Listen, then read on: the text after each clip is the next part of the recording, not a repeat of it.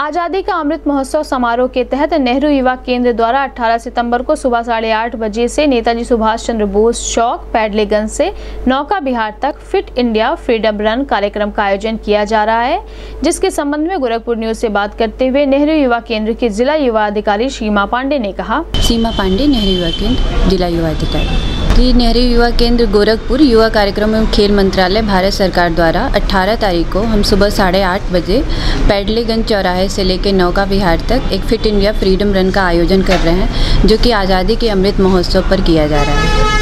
कितने बच्चे शामिल होंगे? क्या रहेगा पूरा थीम इसका? जी इसमें लगभग 200 से 300 के करीब बच्चे शामिल होंगे। इसमें हम एनसीसी एनएसएस युवा कल्याण विभाग नेहरू युवा केंद्र सभी बच्चों को शामिल कर रहे हैं सभी विभागों के बच्चों को।